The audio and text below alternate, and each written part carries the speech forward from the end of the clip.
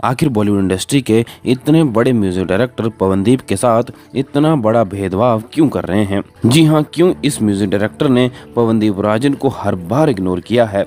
Fans भी इस music director पर ये इल्ज़ाम लगा रहे हैं। इससे पहले चैनल पर अगर आप पहली बार आए हैं तो सबसे पहले जल्दी से हमारे चैनल ट्रू बॉलीवुड को सब्सक्राइब करें, साथ में घंटी के निशान को ज़रूर दबा दें। जैसा कि आप सब जानते ही हैं कि आज पवनदीप राजन म्यूज़िक इंडस्ट्री में एक बहुत बड़ा नाम बन गया है।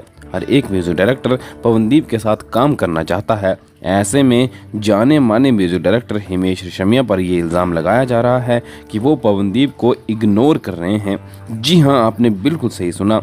हिमेश रेशमिया अरुणिता के साथ कई गाने कर चुके हैं। हाल ही में अरुणिता का हिमेश के साथ एक गाना रिलीज़ हुआ था, जिसका नाम था आ गले से लगा ले। ऐसे में अब आज अरुणिता का एक और गाना रिलीज़ होने वाला है। इस गाने का नाम है, तू किसी और को ना चाहे जो हिमेश ने ही बनाया है। लेकिन पवनदीप के साथ कोई नया गाना हिमेश नहीं कर रहे। फैंस का कहना है कि पवनदीप को भी कोई सोलो गाना देना चाहिए, क्योंकि फैंस काफ़ी दिनों से पवनदीप का कोई सोलो गाना सुनना चाहते हैं। इससे पहले हिमेश रेशमिया पवनदीप के साथ कई गाने कर चुके हैं, लेकिन काफ़ी समय से किसी भी गाने की कोई भी खबर सामने नहीं आ रही। क्या आप पवनदीप का हिमेश के साथ कोई गाना सुनना चाहते हैं तो हमें कमेंट करें। ऐसी कुछ खबरों के लिए हमारे चैनल को सब्सक्राइब करें।